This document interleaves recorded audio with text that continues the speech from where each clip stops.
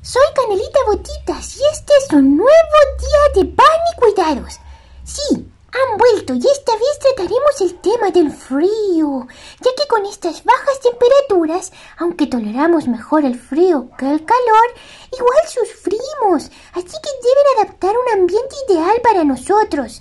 Lo primero que deben saber es que nuestro refugio debe estar dentro del hogar, rodeado de mantitas de polar y algo muy acogedor como alfombras que nos permitan controlar la temperatura y mantenernos abrigaditos.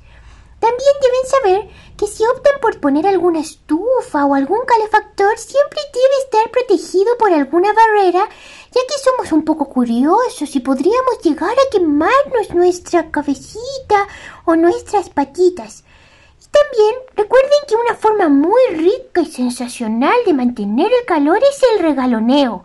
Así que ya saben amigos, regaloneanos mucho, dennos mucho calorcito en estos días de tanto frío. Nos vemos en un próximo pan y cuidados.